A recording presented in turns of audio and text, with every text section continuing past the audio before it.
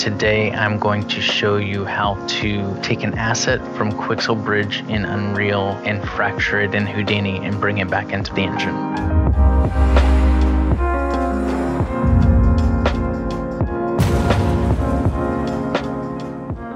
Hey, how's it going? My name is Jason Johnston. I'm a VFX director here at Beyond FX. For this tutorial, you will need to have a copy of Unreal with Quixel Megascans as well as a copy of Houdini. I will not be going over the basics of Houdini in this tutorial. So in Unreal, let's open up the Quixel Bridge window. You can find it under Window Get Content, Quixel Bridge. I have it right here. For this example, we're going to bring in this Nordic beach rock. First, you need to download it. I already have it downloaded here, and I'm going to add it to the project. This gets added to the Megascans directory. So under here, you'll find the materials as well as the static mesh. If we pull it into the engine, this is what it looks like. So we'll right click on it, go to Asset Actions, and Export.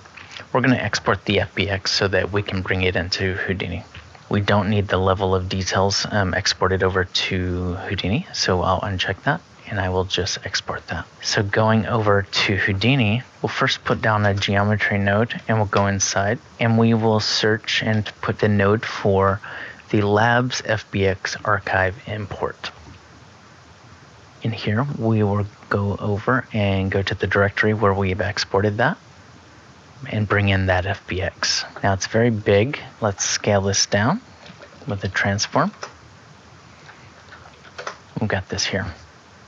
It also needs to be rotated by negative 90. And you'll see that the topology needs to be adjusted. So what we're going to do here is we're going to um, remesh it. The reason we're remeshing this is because the incoming topology from Quixel Megascans is coarse in some areas and dense in others. And remeshing allows us to create a nice, evenly spaced topology that will look better when we fracture it. Let's put it down to something like that. And if we go back and we look at this transform here and we look at the UVs, um, this is what they are looking like coming from Quixel. But once we, we remesh it, it looks like this. So to fix this, there is a UV transfer tool, Labs UV transfer. And so you plug this into the target geometry and then this over here into the um, source geometry. And so what we get is we get the uh, the existing UVs on the new pieces of geometry. And from there, let's uh, put down a normal node and let's add normals. And next, let's um, put down a material fracture.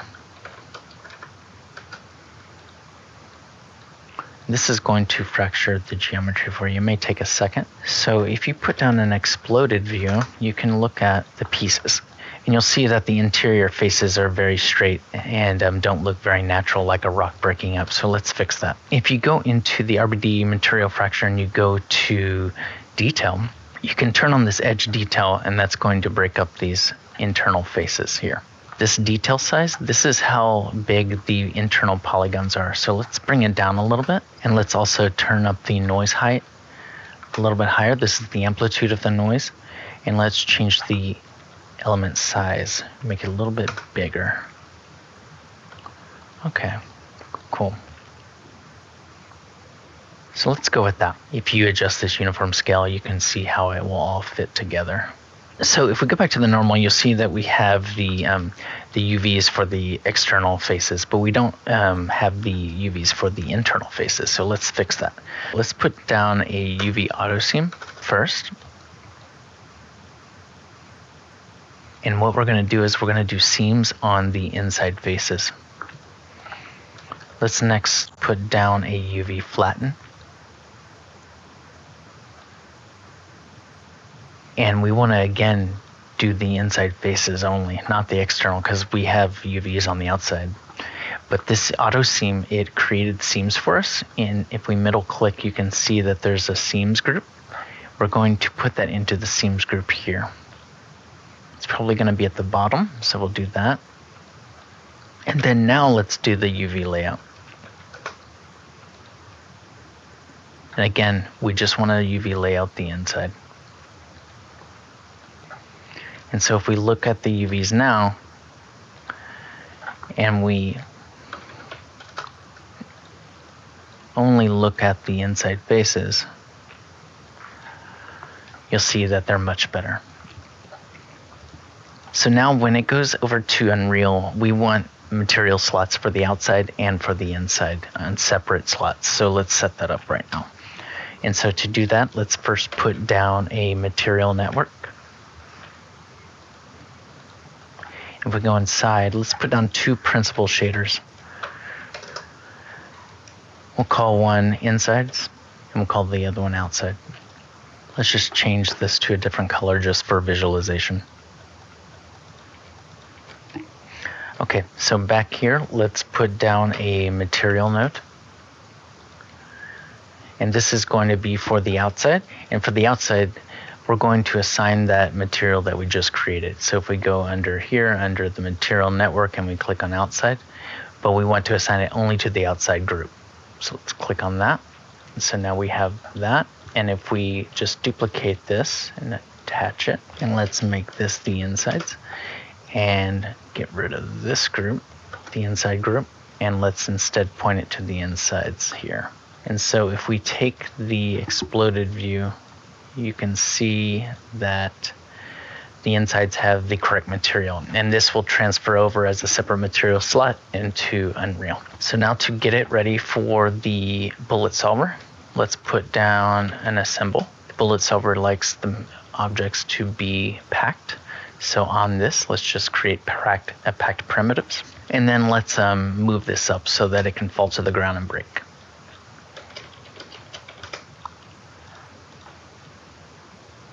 Let's move it up by two on the Y. And then let's just uh, rotate it something like that.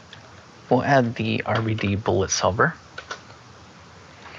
And if you connect this into the geometry and you select this node, and you go here to collision, you can turn on a ground plane. And if you press play, you'll get it falling. Quick little tip here is that it's going to play back at the fastest speed that it can. So in order to get it more accurate, if you click on this node, it will go at the frames per second that you've put in the project settings. So it's a little bit bouncy, so let's go in here. And if we turn off the bounce on the collision, and then we also go into the properties here and turn off the bounce, that will help things a little bit. So the next thing we can do is we can add constraints so that some of these pieces don't break apart so easily. Right now, every single part is falling apart from one another as soon as they break and hit the ground. So the way we can do that, we can do it in a few different ways, but the way I'm going to approach it is if we add a add node and we delete all the geometry but just keep the points. Let's give us a little bit of space here. And we do a connect adjacent pieces. And we set this to adjacent points. And let's just do two points. So each point is only going to connect up to two other points. So then now we've got to put these constraints into the system. But first we need to do a constraint properties. And so the geometry has to come through the left. The constraints are here in the middle. And we got to make sure that the constraints go into the system. If we click on the constraint properties, these are going to create glue constraints, which are going to hold them on to one another based on this strength, but if enough force is applied to them, they will break apart. So let's set this down to something like 5,000. And if we go in here and we press play, you'll see that some of the pieces are staying together. So that's looking pretty good. So let's um, transform it back up so that we can export it over to Unreal.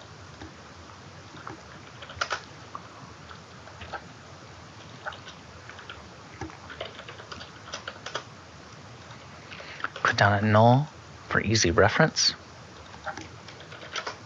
I'll call this out.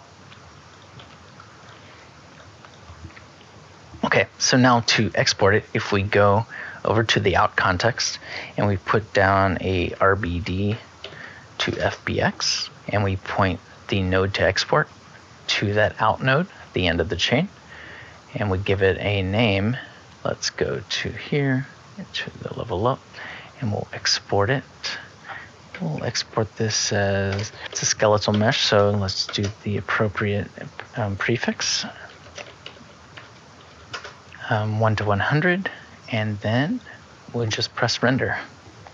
So now if we go back to Unreal, if you right click and do import, go up to where you exported it, and then it's going to bring up this window. There's a few things you want to do. The first thing you want to do is you want to make sure that the animations are importing. Um, I think by default they might be toggled off. And then the next thing you want to do is you want to make sure under advanced that import normals and tangents is selected. And I think default is compute normals. So you want to switch this over. So you're going to import all can ignore this warning. And you'll see that it brought in the skeletal mesh. And here are the two slots. The slot names are outside and inside, just like we set up in Houdini. And it brings in the temp materials that you set up in Houdini as well. So let's, um, first thing, let's set the material to the original material from the rock on the outside. And then for the insides, let's go back to Quixel Bridge and let's go into surfaces and let's do gouge rock cliff. I have this one here. So let's add this. And what we get is this material here.